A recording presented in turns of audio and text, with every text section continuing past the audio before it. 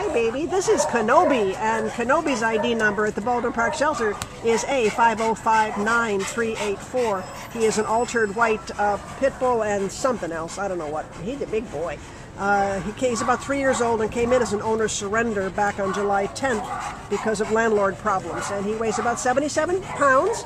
77 rather active pounds, I think, right, Paul? Definitely active. yeah. Well, he's been stuck here so long because of the, you know, being part pit bull, so he has to wait for a temperament test, which he now has, and which he passed with an A because he's a wonderful, wonderful dog. Tell us about his personality, Paul. Uh, definitely an energetic dog. He's uh, very friendly, um, interested in everything, but uh, could use some leash training. He likes to uh, flex his 77 pounds. Uh-huh. Yeah. Sure. Well, with a dog that strong, yeah, you want him to have strong leash skills. Yeah. Yeah. So, I oh, love look his how ears. pretty you are.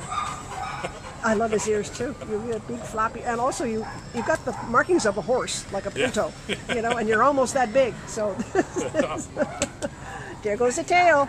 Oh, what a sweetheart. This is a good, good boy. He, he's got an A and uh, all of his temperament test uh, points, and uh, he is considered highly adoptable.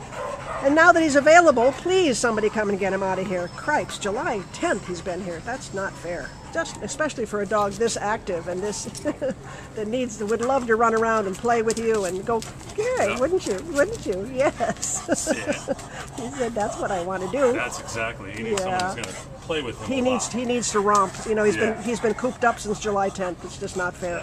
So please come on down and meet Kenobi. If this is your kind of doggy, he's going to be a wonderful companion. Come and get him out of here. He needs it. So on, baby.